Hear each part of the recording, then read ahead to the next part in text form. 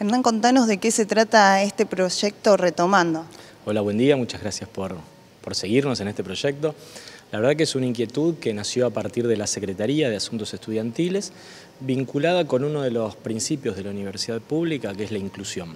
Nosotros estamos ocupados y preocupados por la tasa de desgranamiento que, que vemos en el alumnado, alumnos que o bien dejan la carrera en determinado grado de avance o se retrasan en el, avance en la currícula y es por eso que los vamos a ir a buscar, los vamos a contener y los vamos a acompañar mediante un sistema de apoyo pedagógico, de herramientas y de tutores para acompañarlos hasta que se reciban. ¿Esto a partir de cuándo comenzaría a aplicarse? Nosotros ya hemos hecho una convocatoria que ha tenido muy buena recepción y la idea es implementarlo a partir del ciclo lectivo que viene en el año 2020.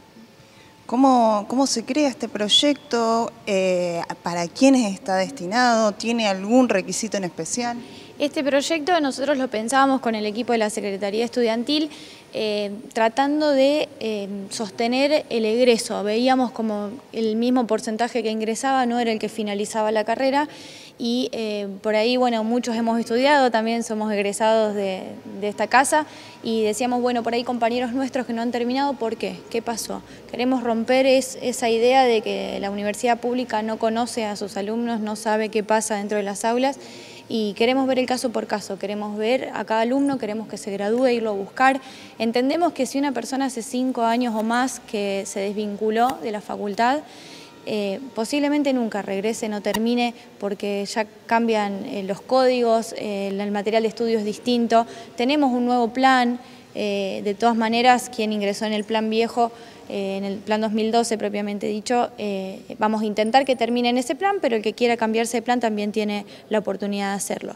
Eh, entonces, bueno, tomando todas estas cuestiones dijimos, bueno, hagamos un proyecto específico para aquellos alumnos que le queden 10 materias o menos y que hace tiempo que están desvinculados de nuestra facultad. Y la verdad es que, como decía el decano, eh, ya desde hace 15 días, 20 que presentamos este proyecto, ya tenemos más de 103 inscriptos, así que el desafío para el 2020 es enorme. El 28 de noviembre vamos a hacer una presentación y bueno, eh, de, en base a ahí empezar a estudiar cada particularidad, esas 100 personas y, bueno, y empezar a ver esos trayectos formativos. ¿Tienen algún porcentaje de la cantidad de alumnos que han dejado la carrera y si este último tiempo ha aumentado?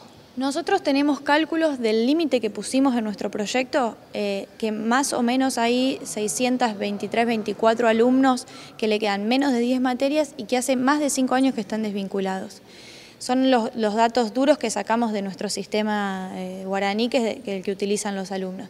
De todas maneras, llegó mucha otra gente con otras particularidades. Quizás alguien que en vez de cinco años se desvinculó hace cuatro años y medio, cuatro años, igual vamos a atender eh, a esos alumnos. Entonces, bueno, es como que por ahí los números los vamos desdibujando. ¿sí? Si te tengo que decir, eh, serían 624, pero seguramente nos encontremos con más en el camino y también eh, los abrazamos y, los incorporamos al proyecto.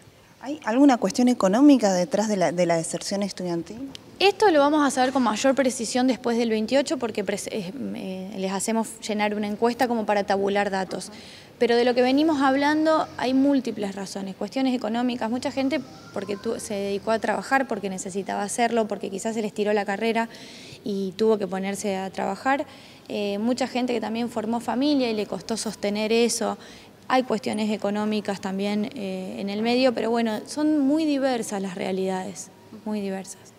Abierto para todas las edades. Abierto para todas las edades. Sí, los invitamos a todos a que vengan porque tenemos muchas ganas y la verdad que estamos con mucha expectativa.